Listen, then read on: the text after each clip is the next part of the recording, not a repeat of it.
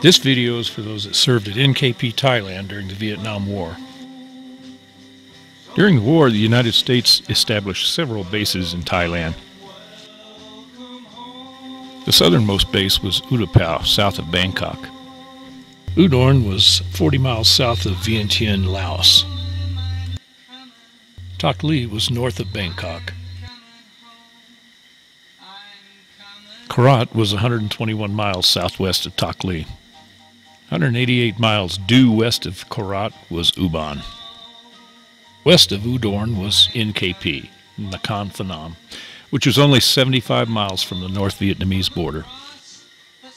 Here's some bases in Vietnam I've included as a reference. Tan Son Nhut near Saigon. Phan Rang, Pleiku, the border in the DMZ. In this video, we're going to explore NKP.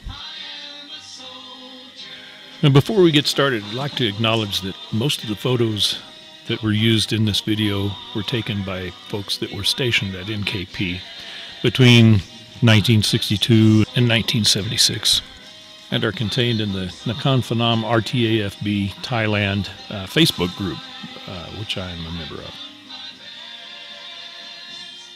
This video is a time lapse from 2010 to 2020 using Google Earth historical imagery and shows how the jungle has reclaimed everything except for the airfield. Well, here's a photo taken in the early 60s showing the jungle being cleared for the runway. And judging by the shadows, it appears to be looking from north to south. It wasn't long before the base started coming together. As you can see in this photo, the south end of the runway. Note that the uh, roads are still dirt. Over the years, my memory has faded to the point where I can't remember how the base was laid out, uh, where the chow hall was, uh, the post office, the outdoor theater, or even the hospital. So I thought, you know, I should reconstruct this base in 3D using SketchUp and Google Earth, and photos and movies, and anything else I could find. You know, so here's the end result. Uh, you can see, though, that I don't have the bomb dump and most of the stuff on the uh, north side of the base done yet. Okay, so just how big was NKP? From the outside edge of the east perimeter to the outside edge of the west perimeter was 1.219 miles. From the outside edge of the north perimeter to the outside edge of the south perimeter was 3.28 miles. The elevation of the base changed from northeast to southwest predominantly. The rectangles you see are uh, sewage lagoons that were at the lowest point of the base. So guard duty in that tower was not a very pleasant experience. I did several nights as an augmentee uh, performing guard duty.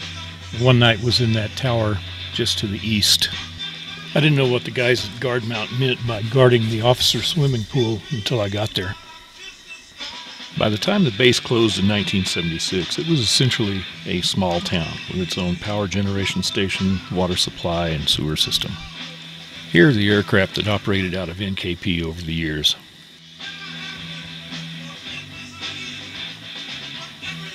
You know, it's incredible the types of missions and the number of missions these aircraft flew during the Vietnam War.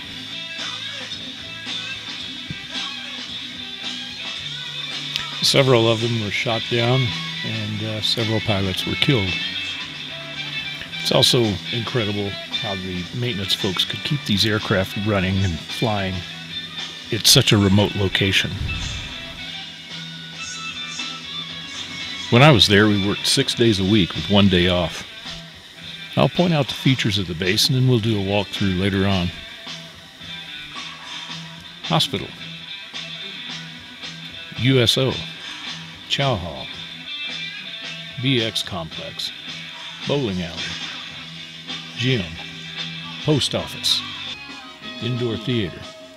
Outdoor Theater. AFTN. Officers Club. Security Police Complex. Oh yes, we even had a swimming pool. Well, let's imagine we had a drone back then. Let's just do a quick flyover of the base. Well, directly in front of us is the 56 Combat Support Group headquarters building. So we'll fly from south to north and then we'll turn around and go back the other direction. Notice the white rectangles and squares are buildings that I still need to put in. I see the TFA complex and the weather radar tower.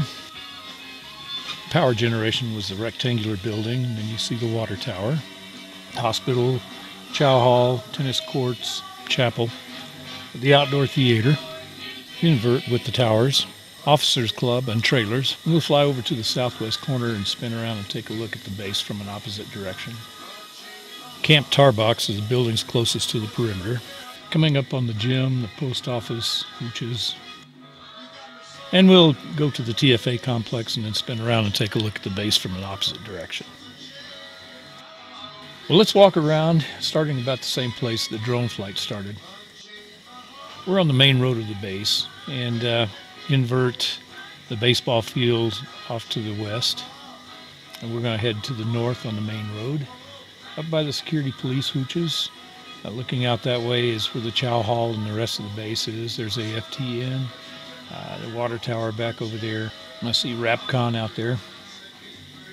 looking back the way we came towards the main gate. We'll move a little farther north.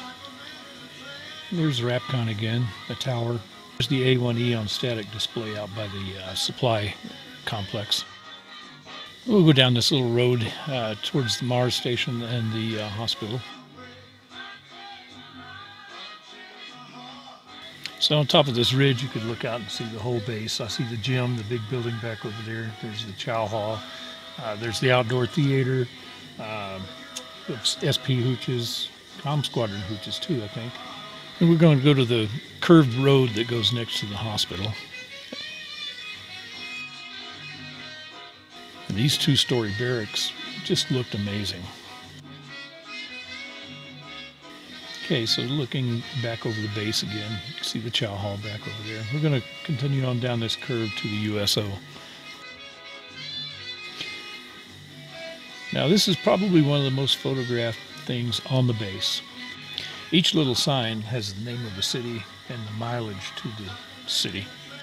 We'll just do another 360. There's some hooches. Just looking around to, uh, outside the USO just to see what else is up there. There's those fancy barracks again. Uh, TFA is back over there. And we'll take off and go down this road uh, towards the hooches, towards the west. Another look around to, uh, you know, see where we just came from, the USO over there in the hill.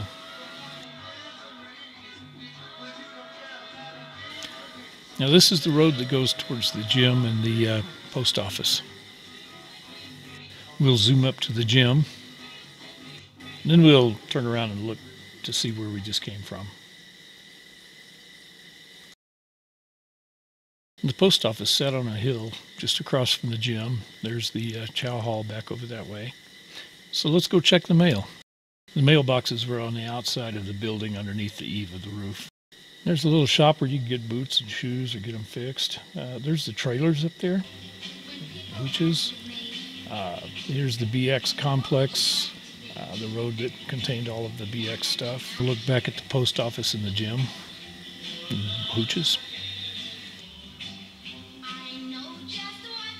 Take this road to the east.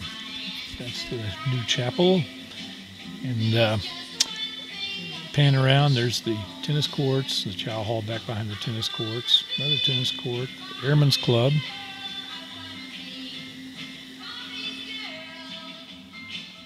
Here's the indoor theater, the O Club up on top of the hill, and uh, the outdoor theater. And let's just use the drone, fly up and take a look. There's the outdoor theater with the projection booth. Feeling kind of hungry, so let's just go over to the Skyraider Inn, Chow Hall. You can see the SP hooches up on top of the hill up there, AFTN, tennis courts, and we'll look back towards the chapel and the O Club.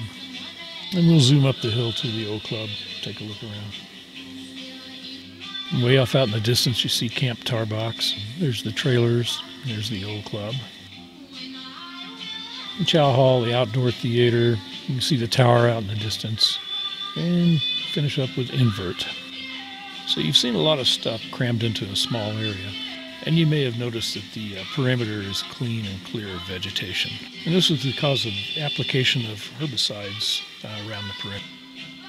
The government created several Project CHECO Southeast Asia reports. CHECO stands for Contemporary Historical Examination of Current Operations.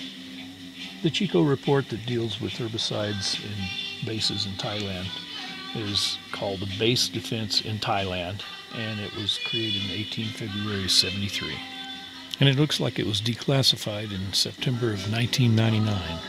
The report was 88 pages long, but I've just put page 58 and 69 here that list using herbicides. This document addresses the 500 meter air drift zone as defined by the Department of Army. But it just shows the flight line. It doesn't show an accurate depiction of drift zones around the rest of the base. Well, 500 meters is 1,641 feet. I've shaded the 500 meter drift zone from the edge of the perimeter around the base and you can see if you ever went to the post office, the gym, or lived in any of those hooches, you were well within the drift zone. And the rest of the base was cross-contaminated by security policemen who uh, were in the bunkers uh, and would go to the chow hall, go to uh, USO or places like that before they went home and, and changed the uniforms. Uh, trucks that drove through the sprayed areas drove around the base on the roads, and uh, even the ditch system. In the monsoon season, it would rain and the ditches would overflow, and it would carry the particulates underneath the hooches and anywhere that the uh, that the rain flowed. I am by no means a scientist, but looking at this, uh, it looks like this stuff hangs around for a long time. Well, I hope you've enjoyed this little trip down memory lane, NKP Thailand. And I'll continue working on this, get the uh, flight line, the bomb dump, uh, everything that's on the east side and the north side of the base. And if you have any suggestions or requests, uh, please uh, email them to me and I'll see if I can get that taken care of for you. My name is Russ Keys. I was an airman first class in Nakhon Phanom, Thailand in 1974 through 75. Thank you.